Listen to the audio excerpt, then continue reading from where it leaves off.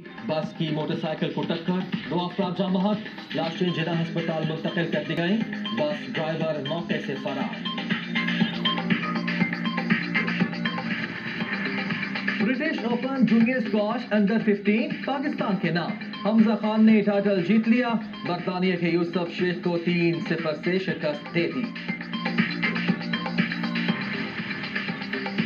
और के मुख्तलिफ़ मकाम पर वक्फे वक्फे से बारिश। मजीद बादल बरसने की पेश गोई बलूचिस्तान की नदी नालों में तुफियानी वादी सूम सेक्टर में सरमा की पहली बर्फबारी।